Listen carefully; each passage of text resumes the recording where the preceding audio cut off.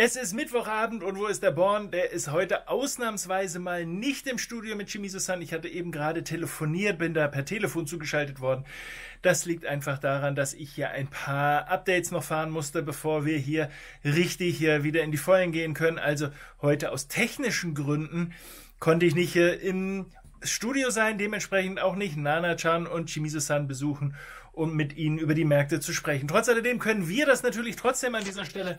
Und äh, ich habe hier mal den Dow Jones mir mal angezeigt und ich habe gedacht, ich mache das jetzt mal auf diese Art und Weise. Dann sieht man nämlich ein wenig nochmal das gesamte Ausmaß. Und zwar geht es mir bei der Geschichte gar nicht so sehr darum, dass der Markt jetzt um 10% gefallen ist. Es wird immer wieder von vielen betont. Mensch, hier von fast 30.000 von da oben runter jetzt bis hier. Ich weiß nicht, ob man es so richtig erkennen kann. Das ist doch ein Riesensprung. Ja, aber Größe alleine ist in diesem Fall nicht entscheidend. Was ich nämlich sehr, sehr wichtig finde, sind zwei zusätzliche Komponenten. Und das eine ist die Art und Weise. Und die ist sehr senkrecht. Man sieht das hier, diese Bewegung, das ist fast wie aus einem Guss. Das ist eine einzelne Bewegung. Und der Markt mag es eigentlich ganz gerne, mal so ein bisschen A, B, C-mäßig zu gehen. Irgendwie mal mit einer Unterbrechung dazwischen. Das muss natürlich nicht immer symmetrisch sein, aber das ist eigentlich so ein Klassiker. Wenn es eine einzelne Bewegung ist, das kann es geben. Das ist ein Sonderfall Kommt auch häufig genug vor, aber eben in vielen Fällen auch nicht und deshalb sollten wir das im Auge behalten. Also wir haben schon zwei Argumente. Das eine ist die Größe, Mensch, 10% Rücksetzer. Das zweite ist sehr direkt das Ganze. Was ist das dritte, was mir ein bisschen Sorge bereitet? Das ist das äh, Zwischenhoch, was wir hier hatten. Das ist aus, äh, ich fahre mal mit dem Cursor hin, damit ich nichts Falsches sage. Das ist das Hoch vom 16. Juli oder einen Tag davor in 2019.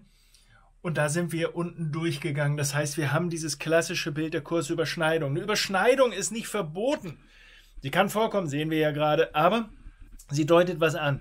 Geht sie gegen den Trend, wäre es ein typischer Hinweis für die Korrektur. In diesem Fall gehen wir aber mit dem Trend, wenn wir haben alle in Erinnerung, Mensch, die letzten zehn Jahre ging es doch eigentlich nur nach oben und ja, wir wissen doch alle, dass es ein Aufwärtstrend ist.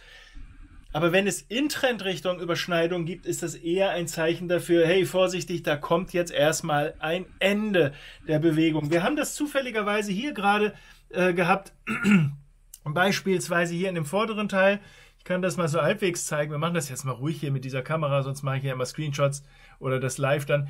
Das ist äh, Weihnachten 2018 gewesen und es ist dann ja gestiegen bis äh, ähm, April 2019 hier irgendwann und dann sehen wir, dass dieser letzte Anstieg ebenfalls mit Kursüberschneidung passiert ist. Ich will das nicht überbewerten, das ist aber so ein typisches klassisches Bild, wenn es in Trendrichtung geht und dann in Trendrichtung mit Überschneidungen unterwegs ist, dann ist das ein klassisches Zeichen, dass die Trendrichtung mindestens mal vorläufig zu Ende ist und ein Rücksetzer kommt. So, wenn wir das hier in dieser Gesamtbewegung haben, wenn wir hier jetzt anfangen, Überschneidungen zu bekommen, dann bedeutet das, dass diese Trendbewegung irgendwann jetzt zu Ende ist. Entweder ist sie das jetzt schon und der Kurs fällt wie ein Stein hin, dann wären typische Ziele irgendwo in dieser Nähe, wir hatten das hier vorne ja auch, dass wir sogar hier unten drunter ge gefallen sind unter diesem Punkt, also dann sind wir schnell Richtung 22.000, darf auch ein bisschen niedriger gehen, hört, hört. Ich kann und ich will aber jetzt noch nicht den, äh, den ähm, Hinweis geben, ja, das ist jetzt das nächste Ziel, was wir haben. Das hängt jetzt extrem davon ab, was hier jetzt als nächstes kommt. Wenn der Markt jetzt sehr schnell wieder steigt, das haben wir letztens häufiger mal gesehen, dann ist das nochmal ein Aufbäumen. Trotzdem bleibt die Überschneidung. Dann wären jede weiteren Hochs im Prinzip nur, ah, okay, einmal hoch schaffen wir noch und danach geht das dann irgendwann runter. Was auch immer einmal hoch heißt, das können wir uns dann später nochmal angucken. Aber wir sind dann trotzdem am Ende der Bewegung, selbst wenn es noch ein bisschen höher mal ginge, um anschließend wieder nach unten zu fallen.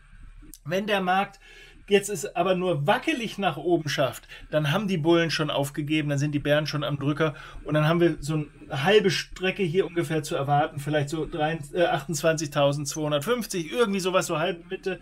Hier Fibonaccis könnte man noch anlegen dann, je nachdem, wo die Tiefs dann auch dann tatsächlich waren um dann den nächsten Schub nach unten zu haben. Ich kann noch nicht sagen, welche dieser Varianten das ist. Ich kann ja auch nicht in die Zukunft gucken. Aber diese beiden Szenarien, die stehen an. Das heißt, es liegt jetzt hier in dieser Mitte mehr oder weniger, wie der Markt dahin läuft. Was bringt mir denn das als Trader, wenn ich wieder nur gucken muss, was in der Zukunft passiert? Jetzt zu kaufen, um zu sagen, es geht 100% sicher nach oben, ist aus meiner Sicht nur etwas für die kürzerfristigen, die sagen, hey, ich gehe auch mal nur ein paar Tage oder ein paar Stunden in den Markt. Super. Aber es ist aus meiner Sicht nicht der richtige Zeitpunkt, um jetzt massiv auf die, auf die Höhe zu gucken, wenn man sagt, naja, solche Drops oder größere will ich nicht aussitzen. Und längerfristige stehen ja dann vor der Versuchung. Also wer aussitzen will, der muss damit rechnen, auch so eine Bewegung aussitzen zu müssen. Er sagt, das ist mir dann doch eine Stufe zu viel, der sollte jetzt im Moment nicht aktiv sein. Kleine, kurzfristige Trader können natürlich sagen, hey, das ist doch so geil gerade. Auf diesen kleinen Zeitebenen können wir doch mit Sicherheit irgendwas machen. Wir sehen das ja immer wieder hier auch im, im, im kleinen Chart.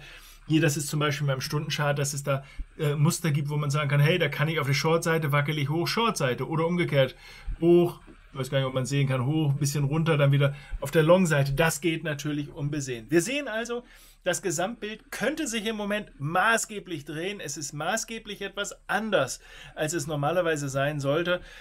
Und das ist ein bisschen neu. Also keine Panik, aber Vorsicht ist weiterhin geboten. Achtet jetzt darauf, wie der Anstieg ist. Bleibt es bei Bärenflaggen, also so ein bisschen wackelig hier auf dem Weg nach oben, hat man die Chance nochmal zu shorten, um dann die Abwärtsseite nochmal zu fahren. Schießt der Kurs jetzt nach oben, kann man auf wackelige Abwärtsbewegungen setzen, sich dann long rein triggern lassen, wenn der Markt dann den nächsten Schub dann nach oben macht. Das haben wir schon so oft besprochen. Wer es nicht mehr genau weiß, wie das geht, sollte sich entweder beim Trade des Tages anmelden. Dort kriegt er natürlich immer wieder mal einen Trade von uns vorgestellt. Oder aber für den Trade to go.